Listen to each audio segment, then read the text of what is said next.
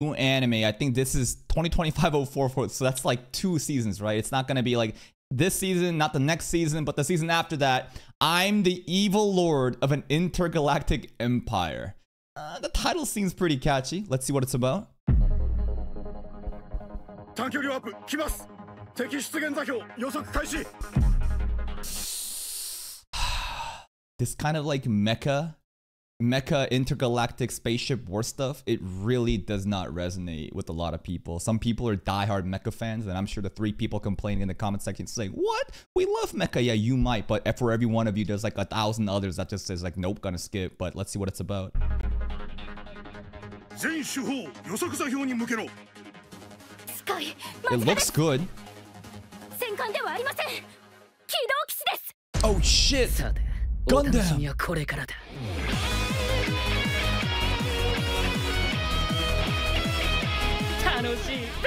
The CGI fight there was pretty decent.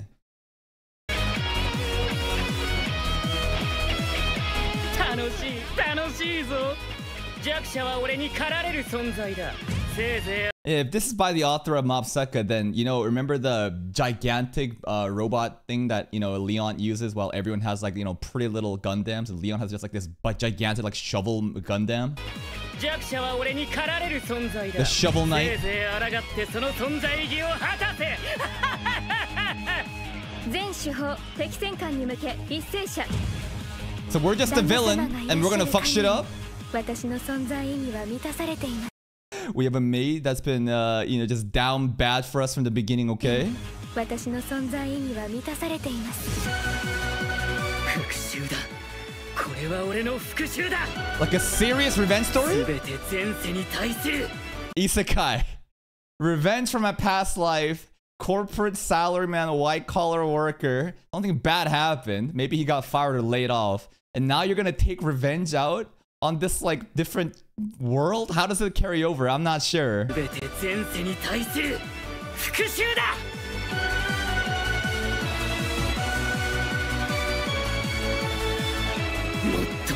もっと俺を楽しませろこの悪徳領主リアム・セラ・バンフィールド様を Liam Sera Banfield. I wanted a meme name like Barto Farto, but we can go with this. And this really reminds me of the Shovel Knight, you know, model that we saw in, you know, Mobseka. Alright. Anything else? Of course, Dio's voice actor's in here.